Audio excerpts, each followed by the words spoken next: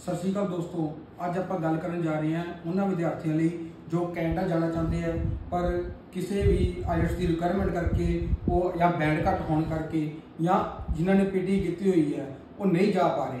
ਹੁਣ ਘਬਰਾਉਣ ਦੀ ਲੋੜ ਨਹੀਂ। ਇੱਕ ਕੈਨੇਡਾ ਸਰਕਾਰ ਵੱਲੋਂ ਬਹੁਤ ਹੀ ਵਧੀਆ ਨੋਟਿਸ ਜਾਰੀ ਕਰ ਦਿੱਤਾ ਗਿਆ ਹੈ, ਜਿਸ ਵਿੱਚ ਕਿ 10 ਅਗਸਤ 2023 ਤੋਂ ਇਹ ਰੂਲ ਚਾਲੂ ਹੋ ਰਿਹਾ ਹੈ ਜਿਨੇ ਕਿਸੇ ਨੇ ਵੀ ਆਈਲਟਸ ਵਿੱਚੋਂ ਓਵਰਆਲ 6 ਬੈਂਡ ਹੈ ਜਾਂ ਪੀਟੀ ਕੀਤੀ ਹੈ, ਜਿਹਦੇ 60 ਈਚ ਹੈ, ਤਾਂ ਉਹ ਕੈਨੇਡਾ ਲਈ ਐਲੀਜੀਬਲ ਹੈ। ਉਹ ਕੈਨੇਡਾ ਦੀ ਐਸਡੀਐਸ ਕੈਟਾਗਰੀ ਦੇ ਵਿੱਚ ਸ਼ਾਮਿਲ ਹੋ ਸਕਦਾ ਹੈ।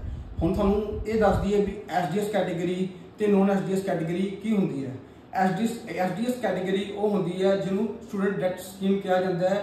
ਇਹਨੂੰ ਪਹਿਲ ਦੇ ਆਧਾਰ ਤੇ ਕੈਨੇਡਾ ਸਰਕਾਰ ਕੇਸ ਅਪਲਾਈ ਲਈ ਚੱਕਦੀ ਹੈ। On the other hand non SDS category ਨੂੰ ਇੰਨੀ ਪ੍ਰੈਫਰੈਂਸ ਨਹੀਂ ਦਿੱਤੀ ਜਾਂਦੀ।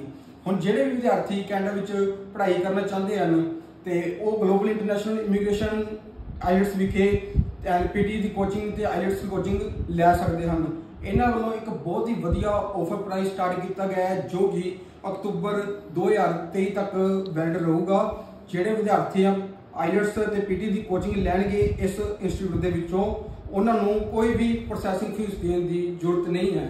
ਤੇ ਨਾ ਹੀ ਕੋਈ ਅਦਰ ਚਾਰजेस ਅਪਲਾਈ ਕੀਤੇ ਜਾਣਗੇ, ਜੋ ਵੀ ਕੈਨੇਡਾ ਦਾ ਕੇਸ ਲਗਾਉਣਗੇ।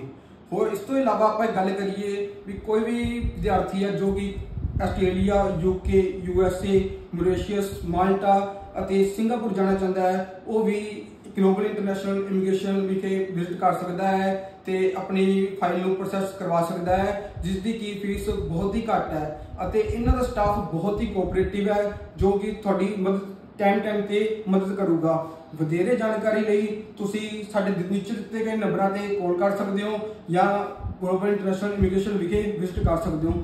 ਧੰਨਵਾਦ।